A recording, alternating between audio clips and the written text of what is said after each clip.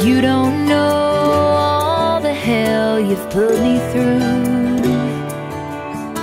And he can't